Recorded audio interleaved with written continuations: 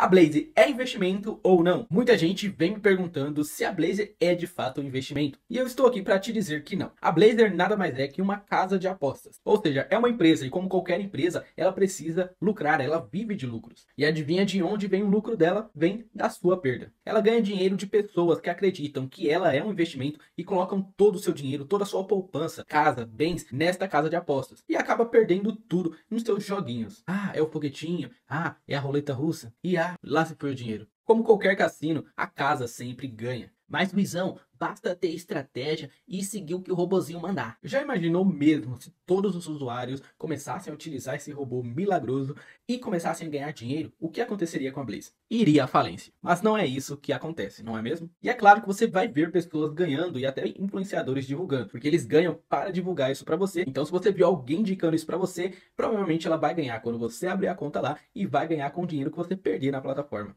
além de estar sendo paga para divulgar essas coisas para você. Então, se você quer ganhar dinheiro com a Blazer, divulgue a Blazer sendo influenciador ou crie um robozinho aí para enganar outras pessoas. Não vai fazer isso, hein? É brincadeira. E agora, quando te perguntarem como você não caiu no golpe das casas de apostas, você vai dizer que você não caiu porque segue a consultoria Ruiz.